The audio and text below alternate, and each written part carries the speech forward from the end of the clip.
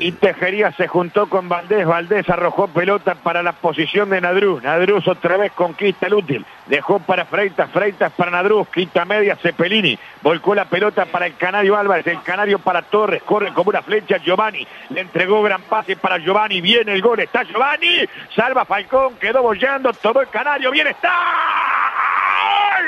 ¡Gol! ¡Gol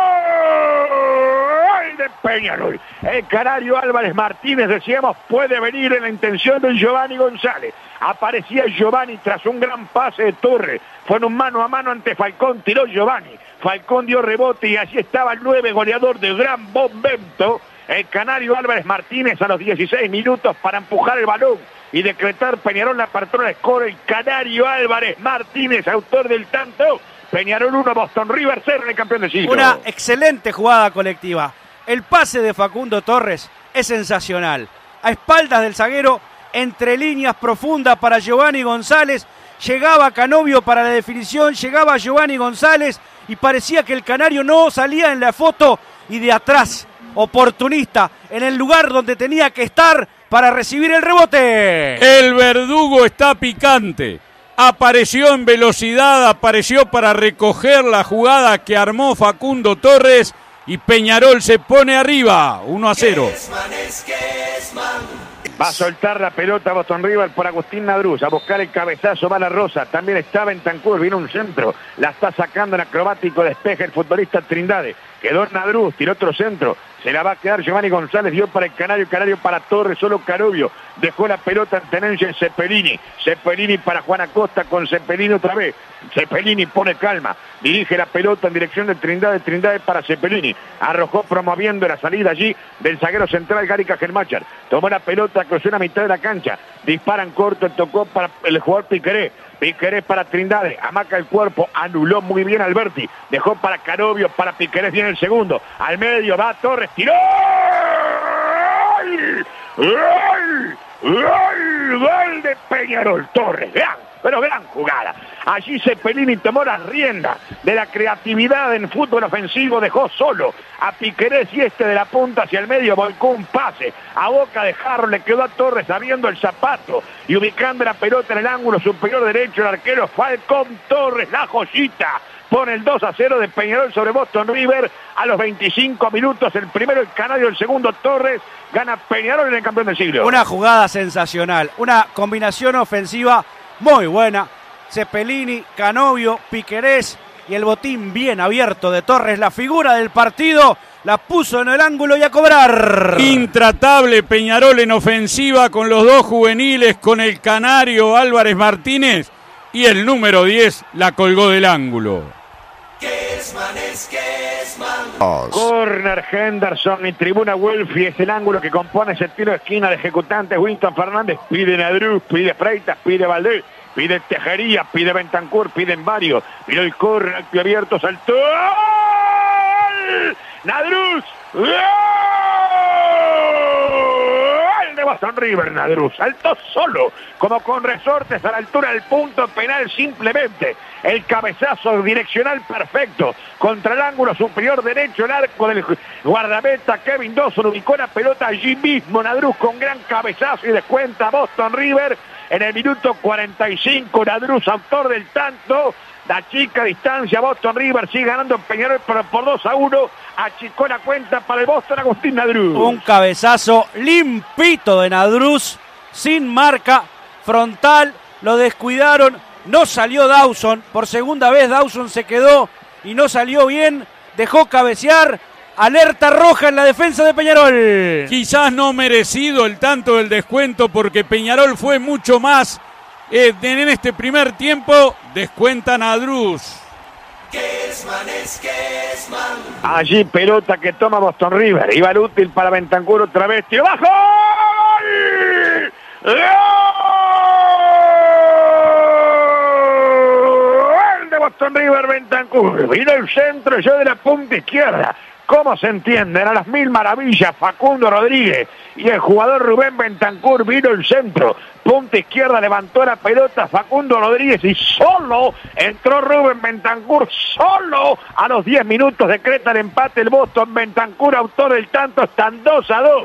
Ante la fallida salida, primero Formiliano, segundo Juan Acosta que no pudo resolver, tomó Facundo Rodríguez, se la entregó a Bentancur que en esta no dudó definiendo bien, decreta el empate, Boston River igual a Peñarol en dos tantos. Ahí está el lado bipolar de Peñarol, defensivo, el violinista entró el mejor de Boston River, entró solo tras una fallida salida de Formiliano, qué tarde, qué noche de los dos zagueros centrales de Peñarol, 2 a 2 y lo que estaba liquidado está abierto de vuelta. El rezongo fue grande en el entretiempo y los cambios dieron resultados. Apareció el goleador, puso las cifras 2 a 2.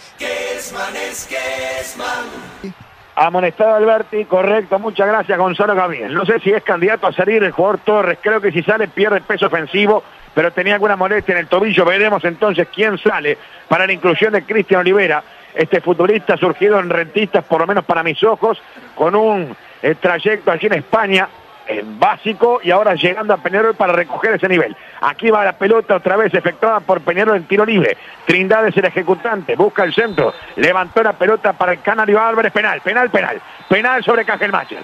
Infracción cometida allí por el futbolista Nicolás Freitas cuando buscaba el cabezazo Cajelmacher. Sin dudar, pitó penal el señor Ferreira, penal para Peñarol. Farida, ¿cómo la viste? Vamos a ver, estaba bien ubicado Ferreira, dos metros de la jugada. Ahí empiezan a. Uy, uy, uy, uy. Me quedan enormes dudas. Enormes dudas me quedan. Enormes dudas. Enormes dudas. Cajelmacher. Uy, para mí Cajelmacher se tira, ¿eh? Para mí se tira Cajelmacher. La tengo que ver una y mil veces. Enormes dudas. No me gustó. Arce. Lo mismo. Me deja muchas dudas Cajelmacher, como que se tira. No veo el contacto todavía. Bueno, el fútbol es un deporte de contacto. Los Martín. jugadores queriendo ganar la posición andan a los abrazos muchas veces. Para mí es, eh, o sea, el contacto existe, pero no sé si es para penal. ¿Qué dice Gonzalo Gabriel? Bueno, primero amonestado el hombre de Boston River, hablamos de Nicolás Freitas, ya se está produciendo la variante de que se va de Jesús Trindade, creo. Bueno, sacrifica al jugador de máxima marca que tenía Peñarol y de ejecutante este tiro penal. Es Pablo Cepelini, que poco le debe importar si fue o no fue. Él tiene la responsabilidad de la ejecución, sí. Corrijo, la variante el que se retira es Juan Acosta. Correcto, se va Juan Acosta del campo de juego, pasará Giovanni González al lateral. Jesús Trindade sigue en la cancha, gracias Gonzalo Gabriel. Aquí hay penal que va a tomar Peñarol, está para ejecutar Cepelini, que también jugó en Boston River, que se conoce con Falcón, Falcón se tira hacia el punto penal para conversar allí sobre la ejecución de este penal con el jugador Cepelini, penetra Cristian Olivera, es un lindo duelo entre Cepelini, el ejecutante, y Gonzalo Falcón, el goalkeeper. Ya por mi reloj van 19 minutos de juego del segundo tiempo. Tiene Peñarol la chance a través del tiro penal de ponerse en ventaja. Repito, 2 a 2. El Canario y Torres para Peñarol. Nadruz y Bentancur para Boston River. 2 a 2 el partido. Hay penal para Peñarol. 20 minutos, no, 19 minutos. Amarilla para Falcón. Todo muy conversado como truco de seis. Va a venir el penal para Peñarol. Sobre el arco la tribuna Welfi. Con brazos en jarra espera Cepelini. Corta distancia. Salta la gol line. Falcón entró Cepelini. ¡Gol!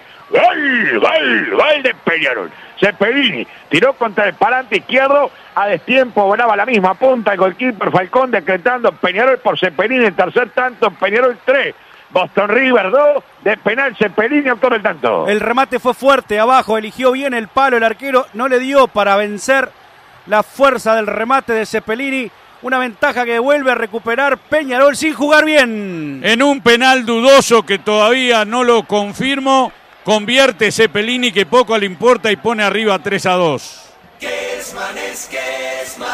Ya voy Gonza, corner que va a tomar Peñarol Cepelini con el centro, se va cerrando con los puños, quitó Falcón, queda bollando, tomó otra vez Peñarol de Giovanni, va en dirección de Cepelini, Cepelini por Olivera, entró el área, bien, está al medio, rebotó, lo sacó el Valdés, tomé Canario, tiró, ¡Gol! ¡Gol!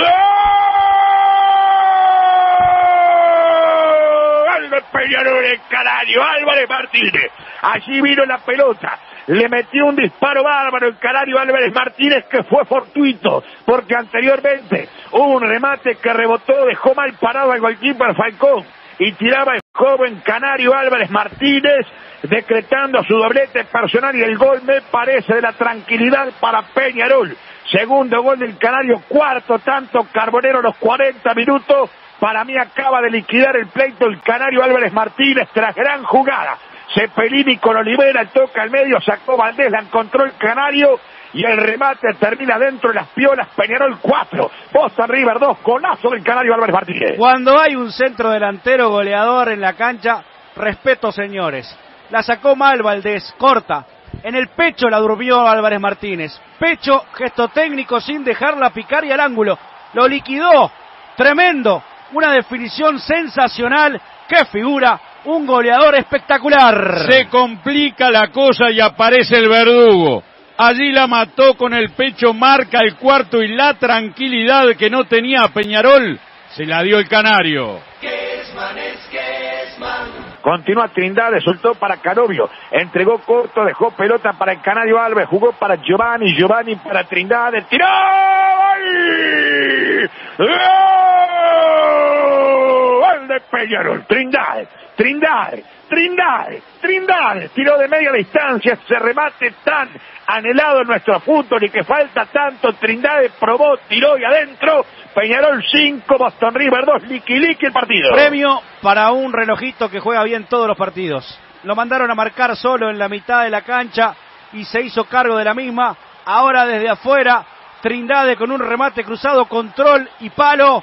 Gran definición del 21. ¿Quién iba a pensar el quinto gol de Peñarol después que levantó, que remontó? Apareció Trindade, el polifuncional.